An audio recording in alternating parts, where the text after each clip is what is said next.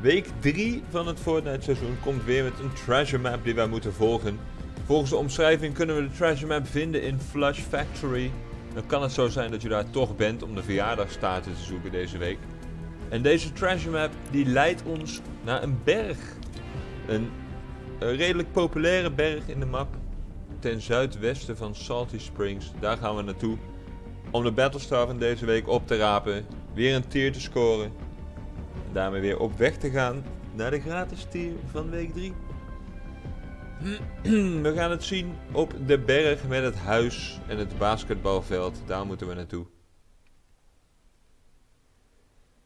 Laten we even kijken op de kaart waar het precies is. Het gaat om deze berg waar we overheen zullen vliegen. Deze berg. En de Battlestar zal te vinden zijn in de bocht hier bij het bruine stuk.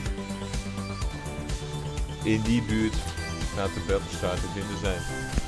En hebben wij weer 10 punten gescoord. We wachten even tot het spel begint.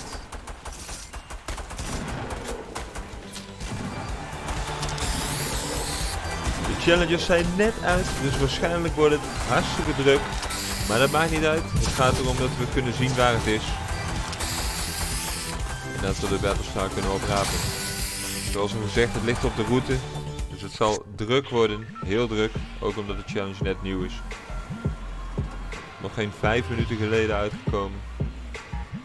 Nogmaals, op de berg. In de bocht. Daar moet het zijn. De verjaardagsbus.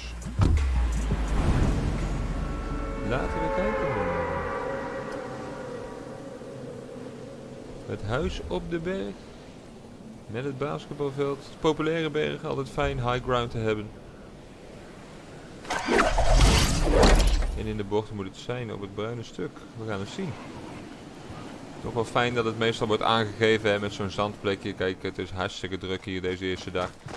Kijk of die mensen zin hebben in een dansje. Jazeker. De mensen hebben zin in een dansje. Hatsé, dat was hem weer voor deze week. Succes met de challenges van deze week en we gaan op naar de Bedankt voor het kijken.